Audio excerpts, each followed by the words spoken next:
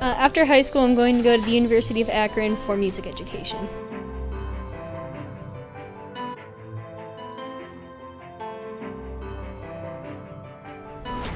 Favorite high school memory? Um, probably just any of the really random memories I have from band, especially all the honors bands and special event stuff.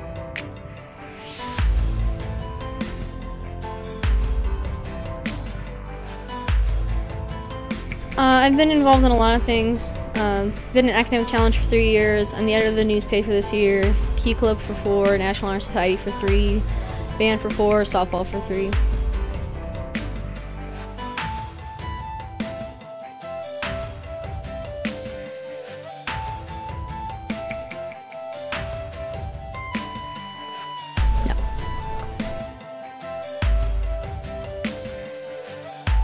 Uh, try your hardest, don't screw off because the good things you do in high school can really lead you to better things after high school.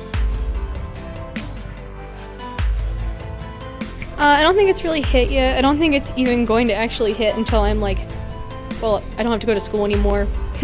or when I'm in my cap and gown and I actually, this is the last time I have to be in the school.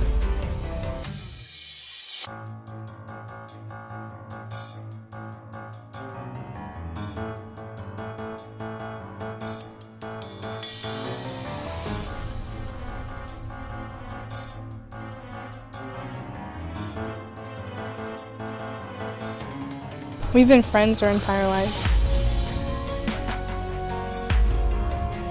My favorite memory with Katie is one time she was spending the night at my house and my dog wasn't feeling good and she's sitting in my bed and she's petting my dog and she just throws up all over Katie and it was just great because now she has a phobia of my dog.